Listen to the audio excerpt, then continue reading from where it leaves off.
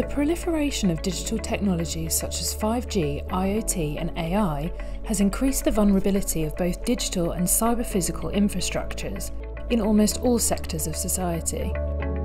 Cyber threats range from data breaches, denial of service attacks and ransomware, to misinformation intended to destabilise countries.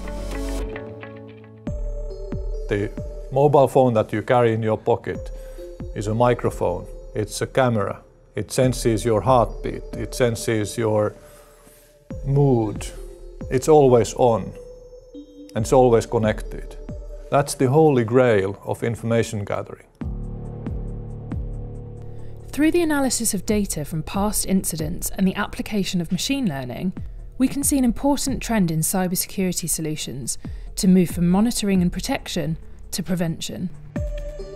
We have to manage the full cycle. The full cycle is uh, prevention, is actually handling the accident, and also ex post learning from what happened. Online platforms are data intensive and put the protection of personal information at risk. With GDPR, Europe has shown leadership in addressing the issue of privacy and data protection. Many countries are also trying to filter content on social media platforms to detect misinformation and fake news.